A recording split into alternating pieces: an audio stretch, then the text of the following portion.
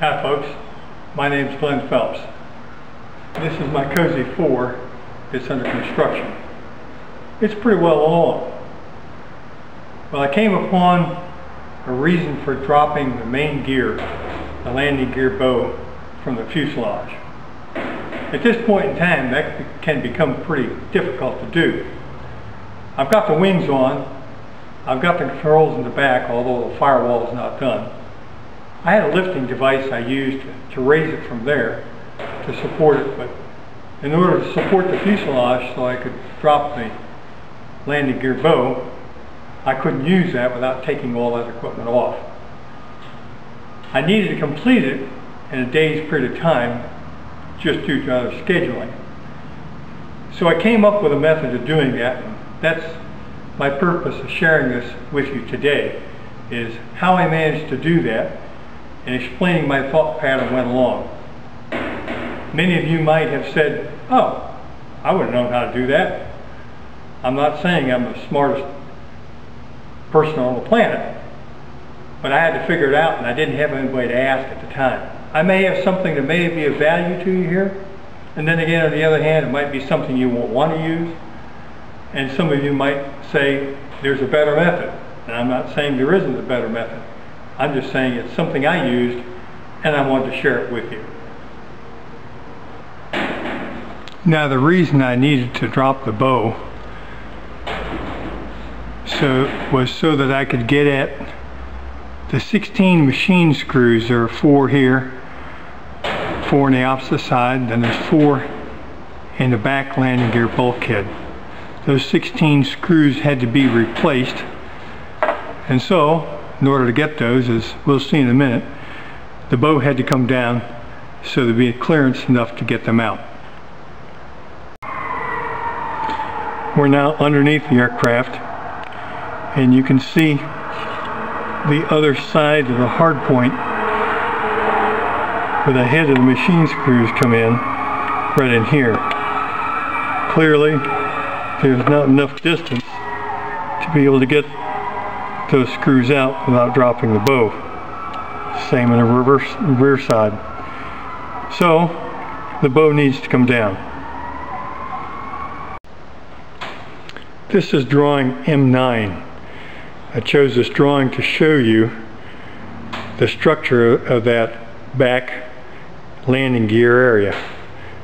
This is the landing gear box up here we're talking about, but I'm going to support aircraft on this section right here. This is certainly structural here. And this is structural here.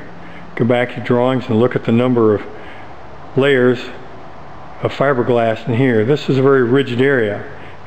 I'm not sure I'd support an aircraft that was fully constructed with an engine on it, but remember my engine is not on.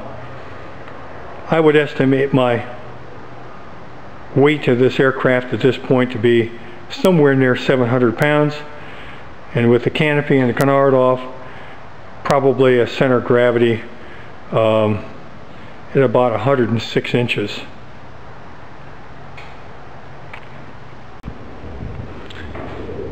Now let's talk about how I raised the frame enough to get the wheels off the ground. Once I could get the wheels free of the ground, I could take the brake calipers loose and take the wheel off, giving me about three inches to lower the bow, which would be sufficient to replace those screws. I have the Williamson electric lift in my aircraft, which if overloaded, there's a slip clutch that can slide, allowing it to come back down. Knowing that that was a possibility with a load that might be on the front of this aircraft at the time, I turned that landing gear up and down manually. Now I looked at the aircraft here, I noticed at the back in this area right there, and I showed you a landing gear box on the, on the drawing, M9 I think it was drawing. That would be sufficient to hold the aircraft and it's lightweight without an engine on. as you lower this nose all the way to the ground, this goes upward or higher.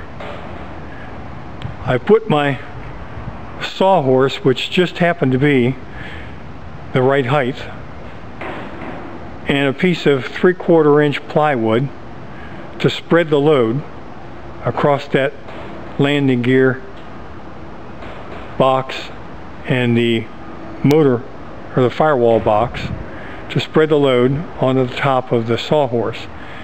I then said I don't want this thing falling so I added a little bit of extra support here for vertical load in order to keep the bottom of the legs from spreading I put that on. Then with the nose down I was able to put that in a position behind the aircraft then I cranked the nose up, which almost lifted both wheels off the ground. I then took a second sawhorse and had a friend raise the nose and put that second sawhorse in here. Now this was almost level to the ground so I didn't get a lot of thrust load either side. I was then able to take the wheels and tires and the brakes off. Before doing that, to stabilize the airplane, I took two of these adjustable lifts and I put them on each side or each on each wing in this location here without a lot of force. I didn't want to support the aircraft from that, but I wanted to make it stable. I also went back to the firewall and took an engine lift and a chain and a bolt through each one of the lower motor mounts just to hold the frame in case it should slip. That was really a second safety. This was just stabilization. Then after I got the wheels and tires off, I took an aircraft jack and put it in here. Took a piece of 2x4, bored a one inch hole in it where it would wedge into the end of the aircraft jack and couldn't slide front or back or from side to side. And I was able to take just enough of the load off of the landing gear that I could get the two pins removed. Then I could lower very carefully the landing gear bow, go inside, which is the only way to reach that, those screws, and replace all 16 screws. I came back down put the and jack the aircraft jack up very slowly until it aligned with the holes. I do have some alignment pins that assist in that. I was then able to get the securing shafts back in place. From start to finish, actual working time was probably eight hours. Of course, the process was reversed. Take the sawhorse out from here, put the gear back on the ground, remove these two pieces here which weren't put in till everything else was in place, run the gear down, take the sawhorse out, run the gear back up, and here we are with all 16 screws replaced.